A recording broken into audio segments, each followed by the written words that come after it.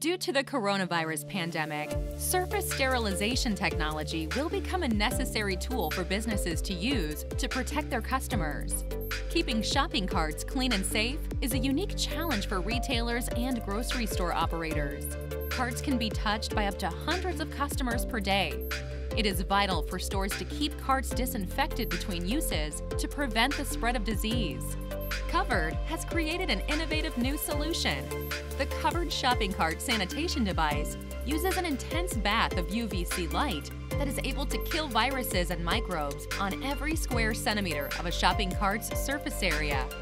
Users simply enter an access code, push the carts into the unit, and activate the sanitation sequence. The carts are then treated by an exposure to short wavelength UVC light, which quickly kills viruses and bacteria by destroying their DNA. After the quick sterilization sequence, the carts are then ready to be safely used by customers.